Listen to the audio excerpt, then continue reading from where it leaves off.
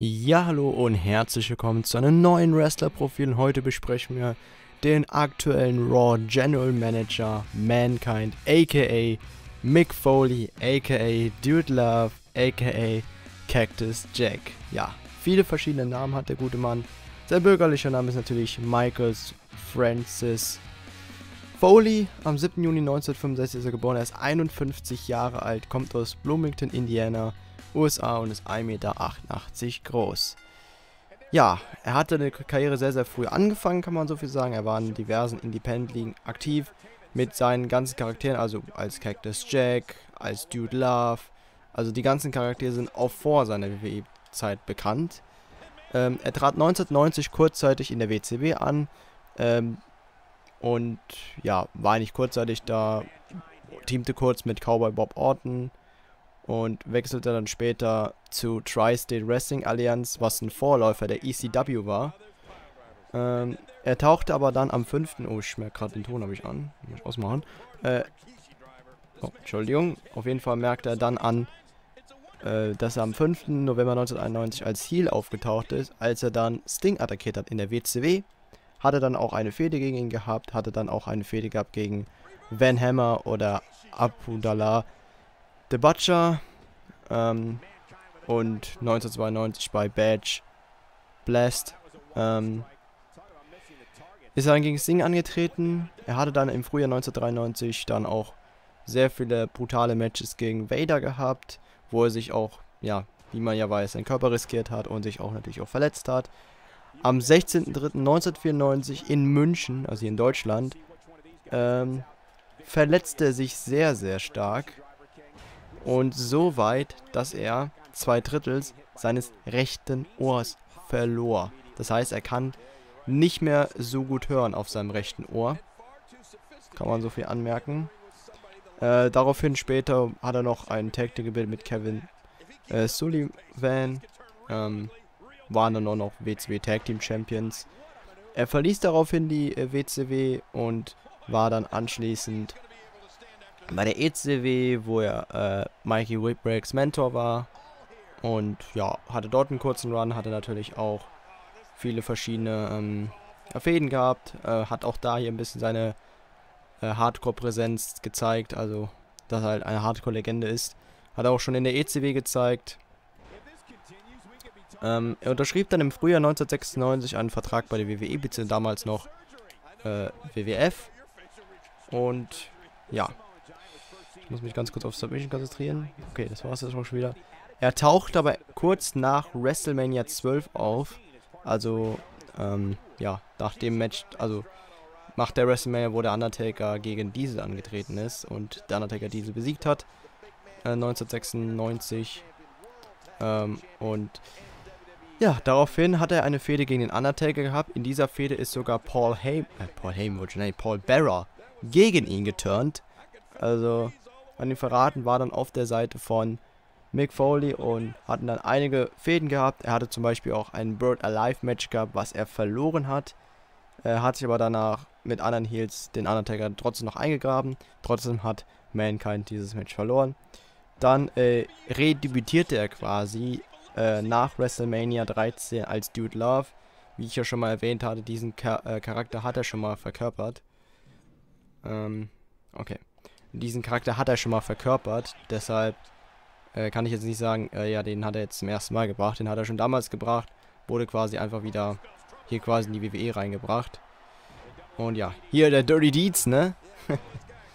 oder der Double Underhook DDT oder Manhandle DDT. Und damit war es das schon. Genau, damit war es das mit diesem Match. Dann, ähm, hat er sich dann mit Stone Cold Steve Austin zusammengetan, fehlte gegen Owen Hart und British Bulldog. Er startete nach dem SummerSlam 1997 eine Fehde gegen Hunter Hearst Helmsley, aka Triple H. Äh, und hatte dort auch seinen dritten Charakter verkörpert, und zwar Cactus Jack. Er verbündete sich danach mit Terry Funk, aka Chance Charlie, besiegte ihn auch bei, also besiegte mit ihm bei WrestleMania 14. Die New Age Outlaws wurde wenig später auch zum Heel, trat dann bei äh, in WWE im allerersten Hardcore-Match als Mick gegen Terry Funk an, um sich zu beweisen.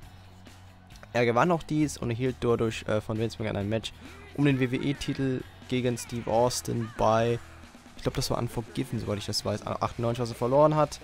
Hatte danach, glaube ich, noch ein Match gehabt, was er verloren hat. Also er hat die Fehde gegen Steve Austin verloren. Und ja, daraufhin, ähm, genau, also er hatte ein Match gehabt, was er verloren und das andere Match war, wo Vince McMahon Special Guest Referee war. Vince McMahon ausgeschaltet wurde und daraufhin hat Steve Austin den Pin gemacht und hat gewonnen. Ähm, ja, tat sich danach, ähm, oder er wurde danach gefeuert, also Dude Love wurde gefeuert, er tat dann wieder als Mankind an und hat dann eine, eine, eine Fehde gehabt mit dem Undertaker. Und ja, hatte dann eins der brutalsten Hell in a Cell Matches in der Geschichte gewirkt. Er wurde in diesem Match äh, ins Kommentatorenpult geschmissen, also vom Top of the Cage wurde er ins Kommentatorenpult geschmissen. Anscheinend auch noch einen Chokeslam durch den Käfig, was nicht geplant war übrigens. Also der Spot war geplant, dass der Chokeslam in der Mitte sein muss, aber der war nicht geplant, dass der Käfig durchbricht und dass da drunter noch ein Stuhl war. Also in diesem Match hat auch Mick Foley zwei Zähne verloren, was man auch gesehen hat in diesem Match. Und so weiter hat sich natürlich auch sehr, sehr heftig verletzt. Es gilt als eines der härtesten, brutalsten Matches der WWE-Geschichte. Äh, danach hat er noch eine Storyline mit Vince McMahon gehabt und ja, er wurde von ihm auch manipuliert, weil äh, Mick Foley oder Mankind ihn als Vaterfigur betrachtete. Äh, dann bekam er dabei auch noch den Hardcore-Titel von äh, Vince McMahon geschenkt. Also er ist der allererste WWE Hardcore-Champion. Äh, soweit ich es weiß. Er wurde auch letztendlich bei der Survivor Series in der Parodie des Montreal Screwjob von ihm betrogen, fehlte dagegen The Rock, also man hat quasi Montreal Screwjob wiederholt, diesmal war es aber geplant, also im Gegensatz zu 1997. Am 4.1.1999 gewann er den Titel von The Rock, äh, also den WWE-Titel, konnte ihn dann beim Royal Rumble I Quit Match wieder verlieren, da er anscheinend äh, I gesagt hat, was aber ein Screwjob war, da Mankind nie I gesagt hat, sondern eine Audioaufnahme verwendet wurde von The Rock. Bei der Halbzeit des Super Bowls 1999 konnte er dann in der leeren Arena wieder das Match gewinnen am 15.02.1999 konnte er sich dann in einem Leather Match äh, ja, wieder den Titel abgeben.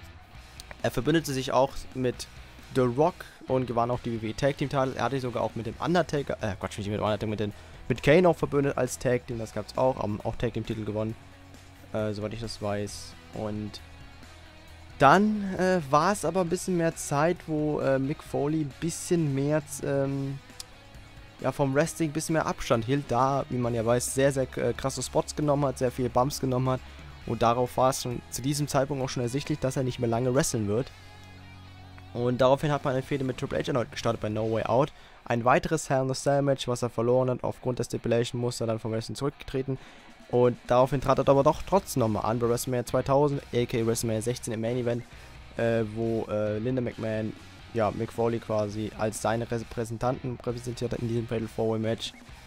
Ähm, er wurde dann am 26.06.2000 von Vince McMahon zum Commissioner ernannt und war es bis Dezember 2000, wurde dann wieder gefordert von ihm. Er war dann äh, bei WrestleMania 17 der Special Guest Referee Match zwischen Vince und Shane McMahon.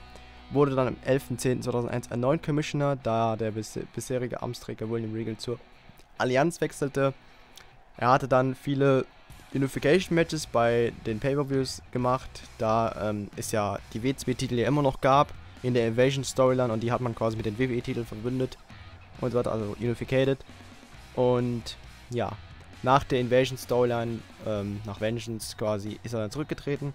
Er kehrte am, äh, am 9.8.2003 wieder zurück zur WWE, um sich bei Bad Blood als Special Guest Referee zwischen Triple H und Kevin Nash zu agieren wurde dann am 1.12.2003 äh, als Nachfolger von Steve Austin von McMahon zum Co-GM genannt. Er startete danach kurz eine Fehde gegen Randy Orton, bestritt bei Backlash 2004 ein No-Hold-Sport-Match gegen ihn, äh, was er auch verloren hat. Er war auch bei One on Stand 2005 der Kommentator und daraufhin auch seinen Vertrag verlängert um vier Jahre. Er hatte danach eine Fehde äh, im Februar 2006 eine Fehde gegen Edge, verlor bei WrestleMania 22 ähm, das Match gegen ihn, also dieses äh, Hardcore-Match mit dem Spot am Ende den Spear durch den brennenden Tische ähm, und so weiter. Das Später haben sie dann noch kurzzeitig ein Tag Team gebildet und haben noch gegen das neue ECW-Brand ge gefädet. Danach startete er im Sommer eine Storyline mit Ric Flair und ja, verlor dann beim SummerSlam ein I-Quit-Match gegen ihn und so weiter und so fort. Er hatte dann danach ähm, einige Gastauftritte gemacht, 2007, 2008, ein paar Gastauftritte danach noch gehabt. War sogar äh, 2008 im April noch Co-Kommentator bei SmackDown. Dann lief sein Vertrag aus und am 5.9.2008 am 5. war er dann hier in TNAW in Ausschnitt zu sehen und war dann bis 2010 dort. bei TNA W bzw. Total Nonstop Wrestling Action oder Total Nonstop Action, wie man es auch sagen kann. Er kehrte im November 2011 zur WWE zurück und hat dann immer wieder Nebenrollen gehabt, immer wieder Auftritte gehabt, auch mal zum Beispiel Royal Rumble Match teilgenommen und so weiter und so fort. Im Juni im Jahr 2003 kam er, äh, 2013 kam er dann in die WWE Hall of Fame und ab dem 19. Juli 2016 wurde er dann von Stephanie McMahon zum General Manager von Raw ernannt und ist es bis heute. Zumindest zum Zeitpunkt 3.10.2016, Tag der Deutschen Einheit. Genau, was bei Raw passiert ist, kann ich leider zu dem Zeitpunkt nicht sagen. Das werdet ihr dann in der Raw Review erfahren, was alles bei Raw passiert ist. Genau, was kann man zu ihm noch sagen? Er gilt von vielen Leuten als die Hardcore-Legende und bei mir auch, also er ist auf jeden Fall eine Hardcore-Legende. Er ist einer der populärsten WWE und Wrestler aller Zeiten und war mit äh, Steve Austin und The Rock ein Inbegriff der Attitude-Ära in der WWE, also war auch einer derjenigen, der auch beteiligt war. Also Steve Austin, The Rock, Undertaker, Mankind, das sind so die Leute, Jericho würde ich auch noch dazu zählen, sind so die Leute, die äh, die Attitude-Ära geprägt haben. Und so weiter, auch wenn man sagen muss, Jericho hat nicht lange geprägt, aber er hat ein bisschen was geprägt, würde ich sagen. Er ist ein erfolgreicher Schriftsteller, der vor allem von Kinderbüchern seitdem seine Autobiografie Have a Nice Day 1999 zum Bestseller wurde. Er setzt sich regelmäßig für Hilfsorganisationen ein und war beteiligt am Wrestle Angle mit dem höchsten Einzelrating während der Monday Night Wars. This is Your Life mit The Rock am, am 27.09.1999 mit einem Rating von 8,4 beteiligt. Also er war einer der Hauptverantwortlichen, dass die WWE und Raw das höchste Rating aller Zeiten erreicht haben mit diesem Segment This is Your Life mit The Rock. Was Mankind ja quasi der Veranstalter war. Genau, Titel, die er gewonnen hat. Er war einmal TNA. Oh, das muss ich noch hin, ich habe einen Fakt vergessen. Er ist einer von zwei Wrestlern, der in der WWE, WCW, ECW und bei TNA einen Titel, Titel, Titel hielt. Der andere ist Raven. Was hat er alles gewonnen? Äh, und der erste, TN, äh, erste WWE Hardcore Champion. Genau. Einmal TNA World Heavyweight Champion, war tatsächlich, was mich ein bisschen überrascht hat. Einmal TNA Legends Champion, einmal WCW World Tag Team Champion mit Kevin Sullivan, zweimaliger ECW World Tag Team Champion mit Mikey Whipwreck, einmaliger WWE Hardcore Champion, achtmaliger WWE World Tag Team Champion, einmal Stone Cold Steve Austin, einmal mit Tarek Funk, zweimal mit Kane, einmal mit El Snow und dreimal mit The Rock. Dann war er noch dreimal WWE Champion und natürlich WWE Hall of Famer 2013. Ja, natürlich auch viele Informationen zu ihm und meine Meinung. Bewertung seht ihr hier. Ich kann ihn tatsächlich bewerten und ist auch einer der wenigen, die ich jetzt noch bewerten kann. Kann man so viel sagen. Also ich glaube, noch zwei, drei kann ich noch bewerten, nach eher weniger. Aber gut, so viel zu Mick Foley, aka Mankind. Und ihr merkt auch an der Bewertung, die eigentlich positiv ist. Ich mag Mankind. Man, Mick Foley, ein Mann, der fürs Wrestling gelebt hat, der das Wrestling geliebt hat, der seinen Körper riskiert hat, der sein Leben riskiert hat. Wenn man sich nur an dieses Hell in a Cell Match Spot erinnert, was er da alles riskiert hat, äh, wo so viel schief gehen hätte können. Also, Vince McMahon hat ihm ja erlaubt hat danach auch gesagt, nie wieder wird sowas gehen, dass so ein Spot passiert, weil das war schon gefährliche Spots, die Mick Foley eingesteckt hat. Auch im Hell in a Cell Match 2000 gegen Triple H hat er auch gefährliche Spots. Generell, der ist ein Spot Monkey, der hat so viele Spots eingesteckt und damit auch das Produkt geholfen. Auf jeden Fall. Er hat natürlich auch eins der äh, größten Momente gesorgt mit dem Titelgewinn damals am 4. Januar 1999 wo sogar die WCW geplagt hat, dass Mick Foley den Titel gewinnt und woraufhin dann eine halbe Million umgeschaltet haben, um Mick Foleys Titelgewinn zu sehen. Und das ist auf jeden Fall eine coole Sache. Ähm, genau, was man so noch sagen kann, ist natürlich, der ist eine Hardcore-Legende. Er hat vier Gimmicks gehabt. Cactus Jack, Mick Foley, Mankind und Dude Love und vier Charaktere, vier Gimmicks hat der grandios gespielt. Er hat so gut diese Charaktere gespielt. Ähm, ein Genie. Also super, der ein krass. Am Mike ist er auch wirklich gut. Also der kann dir eine freundliche Promo geben, der kann dir eine emotionale Promo geben, der, der kann dir einfach jede Promo-Art geben. Das hat man auch letzte Woche bei Raw gesehen, wie er da einfach eine emotionale Promo gehalten hat. Äh, natürlich, manchmal übertreibt er es ein bisschen, das ist klar, aber der bringt das so authentisch rüber, der bringt das so glaubwürdig rüber. Aber Mike Brook ein Supermann und Charisma. Der Mann hat Ausstrahlung. Unglaublich. Schwäche, muss man leider sagen, seine größte Schwäche würde ich persönlich sagen, das In-Ring-Work. Er war natürlich, er hat viele Spots eingesteckt, aber er war jetzt nie wirklich der beste in Er hatte gute Matches gehabt mit The Rock, mit Undertaker, mit Steve Austin, mit Triple H. Äh, hat er super Chemie gehabt. Mit Edge natürlich 2006 super Match gehabt. Ähm, aber war jetzt nie so der große In-Ring-Worker. Ich weiß nicht, wie ich im Wrestling geben würde. Sieben, würde ich sagen. Aber ich mache mir nochmal Gedanken darüber, klar. Ähm, also In-Ring-Technik würde ich sagen, ist seine größte Schwäche. Sonst bei allen die Stärke. Also Mike ist ein super Gimmick, grandios. Ähm, Mike würde ich jetzt keine 10 von 10 geben. Also es wurde viel gesagt, er ist einer der besten Mike-Worker aller Zeiten.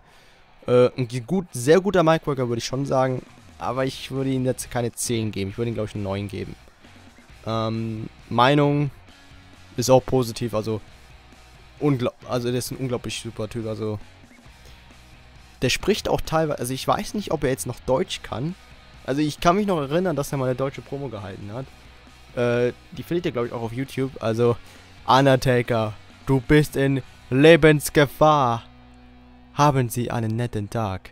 Ähm, also ich glaube, der spricht sogar Deutsch. Also, also, ja doch, soweit ich weiß, kann er Deutsch sprechen, glaube ich. Aber ist ja egal. Auf jeden Fall, ähm, Fand ich auch cool. Also sympathischer Kerl auf jeden Fall. Ich habe ihn schon ein paar Mal gehört. Ich habe ihn noch nie gesehen, getroffen, klar, aber so was man von ihm hört, ein sympathischer Kerl.